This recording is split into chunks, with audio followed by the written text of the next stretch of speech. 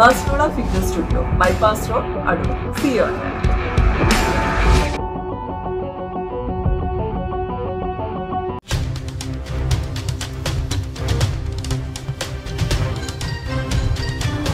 ദർശനം കഴിഞ്ഞ് തിരികെ മടങ്ങിയ അയ്യപ്പ ഭക്തർ സഞ്ചരിച്ച കാർ ഇടിച്ചു പറഞ്ഞ് കുട്ടിയടക്കം ആറ് അയ്യപ്പ ഭക്തർക്ക് പരിക്കേറ്റു.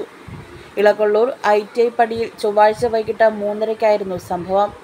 ആന്ധ്രാപ്രദേശ് സ്വദേശികളായ അയ്യപ്പ ഭക്തർ സഞ്ചരിച്ച കാറാണ് അപകടത്തിൽപ്പെട്ടത്.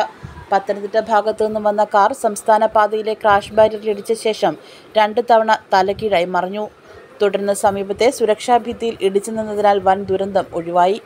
ഇടിയുടെ ആഘാതത്തിൽ ക്രാഷ് ബാരിയർ ഇളകി മാറി.